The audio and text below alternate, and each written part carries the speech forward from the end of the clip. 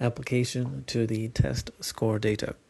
Equation 4.9 reports the regression line estimated using the California test score data relating the standardized test score test score to the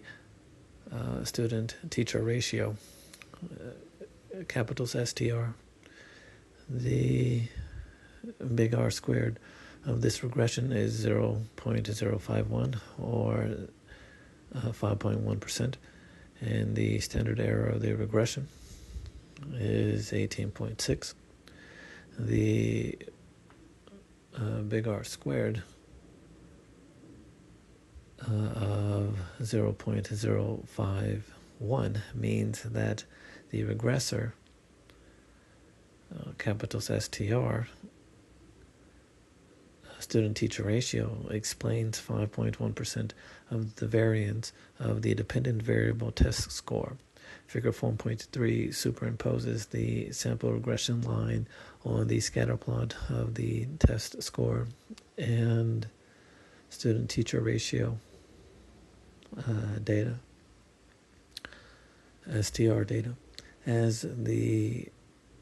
uh, scatter plot shows the student teacher ratio explains some of the variation in test scores, but much variation remains unaccounted for. The standard error of the regression of 18.6 means that the standard deviation of the regression residuals is 18.6, where the units are points on the standardized test, because the standard deviation is a measure of spread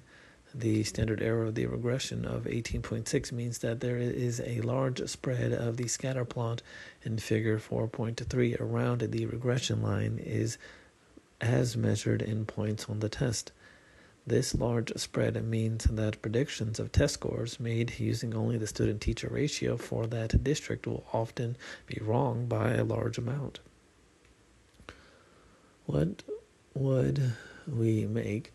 of this low big R squared and large uh, capitals SER. The fact that the big R squared of this regression is low and the standard error of the regression is large does not by itself imply that this regression is either good or bad. What the low big R squared does tell us is that